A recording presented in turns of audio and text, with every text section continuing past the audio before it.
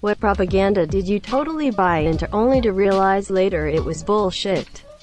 Indestructible dog toys. I watched one dog tear a Kevlar toy like a baboon ripping into an orange.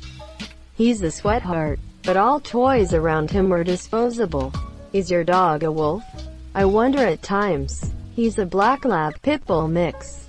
The money-hungry lady suing McDonald's for millions for spilling coffee on herself story. This is a really great example that emo deeply affected American attitudes towards corporate responsibility. It was like 15 years before I heard about how gruesome her injuries were. And at the time people were up in arms about frivolous lawsuits against innocent multinational conglomerates. That the only way to achieve success in life is to study hard, get top grades, and go to university and study something like law or medicine. Plenty of people I know have achieved success and happiness without top university education.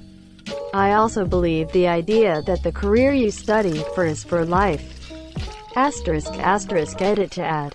Asterisk asterisk. I meant that you don't need to have to have a top degree from a top university. Lots of people choose TAFE like I did. I think it's called technical college in the US. Study something you enjoy, as long as you can still make a living from it. I was all set to study law myself, but I realized that I wasn't that passionate about it. I took some time off to figure out what I wanted to do. I'm 33, got my HS diploma when I was 19, didn't go to college. I own a house and a car. I have my dream job. I make close to six figures. There's a lot of roads to go down. I'll say one thing is for sure in the near future. Employers will care more about experience than education. I'll hire someone who is familiar with the work over someone who wrote papers on unrelated topics. For a few years. That most people achieve success in their lives during their 20s. This is bullshit in the grander scheme of things. Lots of super talented people end up becoming successful in their late 30s, 40s, and even 50s. The same goes for the concept of if you want to get good at something. You have to start super young, which is sometimes work, but a lot of people can actually get good at a skill in older ages. You can learn the piano in your 30s and get really good at it, but you're not going to be doing concerts or anything.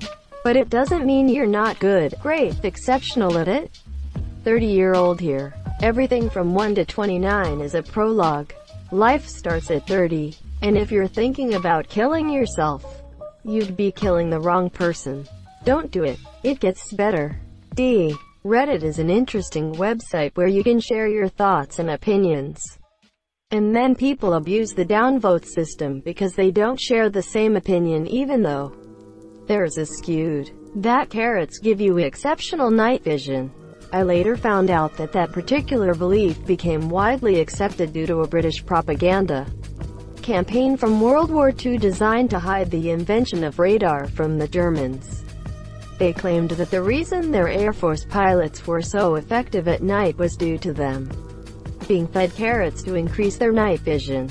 It was so effective that people still tout that particular benefit of carrots years after the war ended. Anti-vax. At one point I was completely sold on the whole, how can you inject infants with dangerous chemicals shit. Then I read up on the actual science and realized how uninformed I was.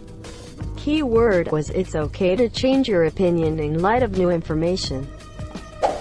Trivial but I bought into the lie that the more you cut hair, the more it grows. I've been shaving my beard for years hoping to get a nice thick bush to no avail.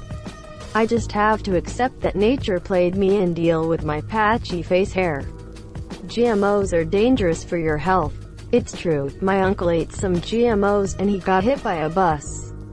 Not only is the idea that they're bad bullshit, the global food supply would be more expensive, less plentiful, and poor parts of the world would experience more frequent, prolonged shortages of crucial items if it weren't for GMOs the anti-drug campaigns we all had to listen to as a kid. Smoking the devil's lettuce will make you a meth addict within hours. Just you wait. I'm still waiting. Nancy. Those things made it worse because a kid tries a joint on a dare or something and finds out it didn't kill him and then he questions what else was lied about in those anti-drug ads. Being honest would be a much better approach because teens are not stupid and will respect you for being straight with them monsieur. South Park did it best. Stan. I've been told a lot of things about pot, but I've come to find out a lot of those things aren't true. So I don't know what to believe. Randy. Well, Stan. The truth is marijuana probably isn't gonna make you kill people. And it most likely isn't gonna fund terrorism. But, well, son, pot makes you feel fine with being bored. And it's when you're bored that you should be learning some new skill or discovering some new science or being creative. If you smoke pot you may grow up to find out that you aren't good at anything. That different sections of the tongue are responsible for sensing different flavors. Now I can tell you more. Your nose is responsible to lots of flavors you sense for different food. Your toughest can only sense basic tastes like sweet, sour, etc. That's why everything tastes the same when you have a cold. That I need a creative career to be happy. It breaks my heart to admit I spent years grinding for a chance at an interesting career. And didn't get very far. And worse I was okay with being underpaid for the experience. Now I kinda wish I took on a regular, well-paying job and used my free time to travel and pursue my own passion projects. Kony 2012. Oh fuck. You voted for him too? Yay, I thought he would have made a fantastic president of the World Bank. That I need to look young forever. Women are sold so many skin care products and cosmetic procedures to stay looking young. Then I realized, it's not really affecting my health if I just age naturally so I can just not give a shit and live my life unafraid of wrinkles if I want to. All you gotta do is feel young, stay healthy and active, and you'll age beautifully. Canada is real. I can't believe I thought there was a mass above the US. You'd totally be able to see it when you looked up if it was real. I paid for LimeWire I live with that shame every moment of my life. Mate. American exceptionalism. America really is a great place. You read about the exceptions because people like to look for the bad stuff. That being said, there are a lot of great places in the world. Every place has some good and some places have a lot of good. I have traveled a lot in emo. Every place I have been has a lot to be proud of. Yes. I am talking to you Canada, Mexico, Peru, France, UK, Germany, Morocco, Honduras, Switzerland, Spain, Portugal, Italy, Austria, Hungary, Slovakia, Czech Republic, Australia, China, Japan, Thailand, Netherlands, Belgium, Luxembourg and Denmark. Love all of you. Had a great time in your countries. Can't wait to visit the places I haven't been I am sure you two are great. I blame watching a very goofy movie when I was young. The Patriot Act, or rather the notion of the nothing to hide, nothing to fear approach to privacy rights. The Patriot Act and all the post-9-11 shit pisses me off to no end. Real infringement of rights and freedom but where were all these quarantine protesters then? It is seemingly something that all sides of the aisle can get along with. Though I've seen those on the extreme right and extreme left in favor of it. But that no politician is willing to risk the political suicide over 911 conspiracy shit. While I wouldn't be surprised if good evidence was revealed the government had a hand in it and I am confident the government's perpetual war in response to it is immoral and money-driven. I don't really think there's reliable enough evidence to make a claim on it being a false flag or not. Santa Claus. Ultimate communist propaganda. Work your ass off year-round until you're made to hand-deliver product to anyone who believes in the system monsieur. Fucking Antarctican propagandists. Asterisk Arctican. I totally feel for the whole communism as a concept isn't a bad idea bullshit when I was in school. Then I realized that something wasn't adding up when you considered why it has been tried so many times and never succeeded. That was when I finally understood the true reason communism always fails. People are assholes and communism can't work if even a single person is anything other than completely selfless. That's just not in human nature. Sorry, maybe heaven is communist, but not earth. Communism, socialism are perfect systems on paper, but they will never work because people are selfish.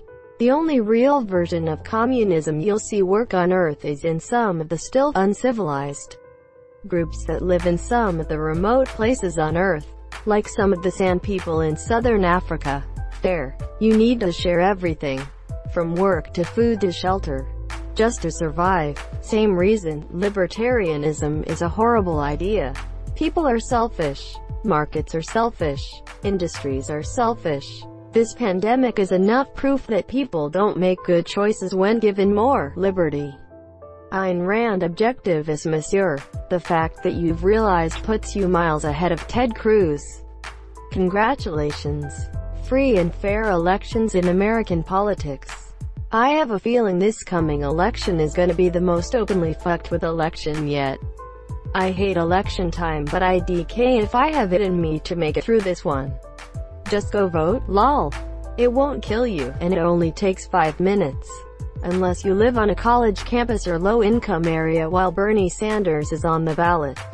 Then, it takes hours. And, then when you complain about it taking literally hours to cast a fucking vote, people call you lazy. College is required to be successful. Absolutely untrue. Dare. Tumblr feminist monsieur I spent my childhood on the internet and I think it led me to believe in a lot of shitty things. It's easy to say, oh it's just sick people online. Unfortunately, modern society has leaned towards them now. By Tumblr feminism, do you mean like super vocal self-validation and pride in victimhood status? I'm only vaguely familiar with Tumblr. Yes, that and of course the other extremes. The many genders, the microaggression, etc. Not gonna lie, some actually do make sense. I myself wouldn't have known I was non-binary without them. But sometimes, there's a lot of bias that comes into it. Oh, okay. I would say, my views were shaped in a similar way. I became friends with a lot of sex-positive feminists and a few more militant types, and was generally down with their views. But over time started to recognize that, while I sympathize with the ideals of those worldviews, some people get more out of stirring up embers than actually supporting or serving the actual cause.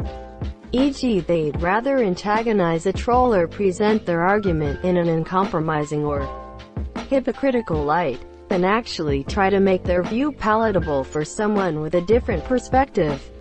Edit. I should add that I think that every ideological mindset has people who care more about arguing than advancing the discussion. Yeah, anything can be carried to the extreme. As a liberal I can't stand ultra-far-left people any more than I can stand hardcore conservatives. Ultra-liberals bother me more as they make the rest of us look fucking insane. Agreed. In the 80s and 90s, as a black woman, it was hard to be taken seriously when I was discriminated against. Because you had all these butt-hurt people crying, racism, Anytime a white person sneezed wrong. Nowadays, trans people are being murdered. Hell, just trying to use the goddamn bathroom is monsieur, but aren't being taken seriously because all these Tumblr kids be like, I'm a non-sexual pangendered brony femme demi-boy furry and you're misgendering me as an attack. Helicopter constitutes an act of violence. Quote, Iraq had WMDS. I believed it well before Bush came into office. I would read in the paper how even during the Clinton era that Saddam would block actively block weapon inspectors. To me, that sounded like he was hiding something. I still believed it months after the invasion. Then the truth started coming out. Curveball was some taxi driver that made shit up. Cheney outed a CIA agent because she found out that Iraq wasn't going for nuclear material in it went against their narrative. It would be one thing if they have bad intel. But this was intentionally falsified intel to justify their war. For a little bit there I was listening to Ben Shapiro and got wrapped up in all those Ben Shapiro thug life compilations on YouTube where he owned social justice warriors. Then one day I realized that Ben's just a fast-talking rich kid who speaks from a position of privilege. Who is he to judge these college kids? He jumped from high school to college, to Harvard, to Goodwin Procter. He's never had to struggle financially like so many in this country have. What the fuck does he know about the real world? Quote, Thank you so much for watching and have a good day.